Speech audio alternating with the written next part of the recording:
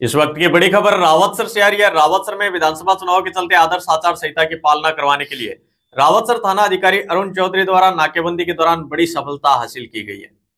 नौहर तिराई पर नाकेबंदी के दौरान एक वर्णाकार की तलाशी में कुल पाँच किलो 200 ग्राम सोने के आभूषण जब्त किए गए हैं।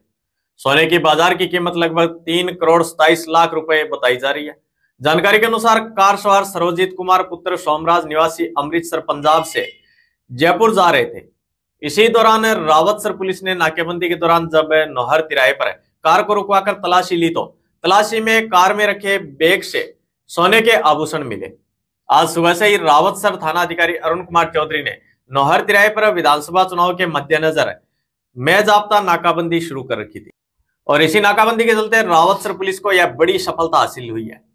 रावतसर पुलिस ने एफएसटी टीम प्रभारी राजेश ग्रोवर को बुलाकर आभूषणों की जब्ती की कार्रवाई को किया है। फ़िलहाल कार को भी जब्त कर लिया गया कार की अनुमानित कीमत 10 लाख रुपए यहाँ पर मानी गई है। आज विधानसभा चुनाव के मद्देनजर पुलिस थाना रावतसर की तरफ़ से हमने यहाँ पे नौर तिराहे पे नाकाबंदी लगाई थी। दौरान नाकाबंदी एक वर्णा कार जो अमृतसर से आई थी, जिसमें सरबजीत व एक अन्य उसके साथ में था।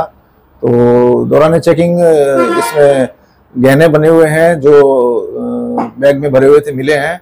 और जिनका वज़न करने पर अभी प्रक्रिया चल रही है, पाँच किलो 200 ग्राम के आसपास इनका शुद्ध वज़न इन्होंने बताया है। तो अभी प्रक्रिया चल रही है। अभी राजेश ग्रोवर सर जो एफएसटी से उनको बुलाया है और इसमें जब्ती कार्रवाई अभी चल रही है।